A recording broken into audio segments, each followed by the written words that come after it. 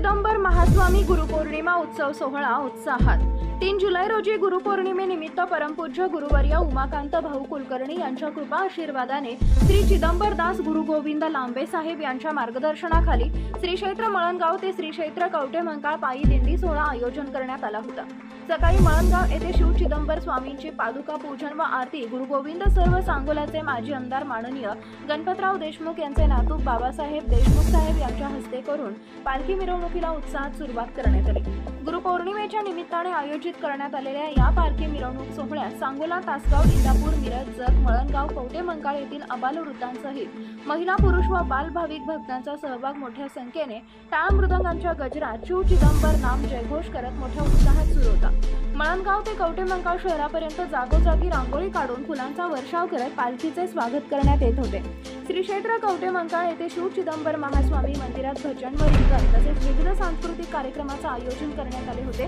यावेळी सायंकाळी महाप्रसादाचे सर्व चिदंबर भक्तांनी लाभ घेऊन सोहळ्याची सांगता करण्यात आली या सोहळ्याचं नियोजन शिव चिदंबर सेवा समिती कवटेमंकाळ गाव येथील सर्व चिदंबर भक्तांनी मोठ्या उत्साहाने केले होते S K news Marathi Sangli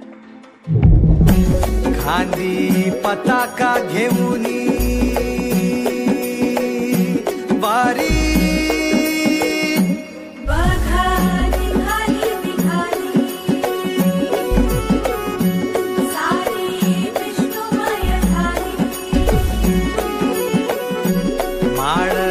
तुळशीची शोभे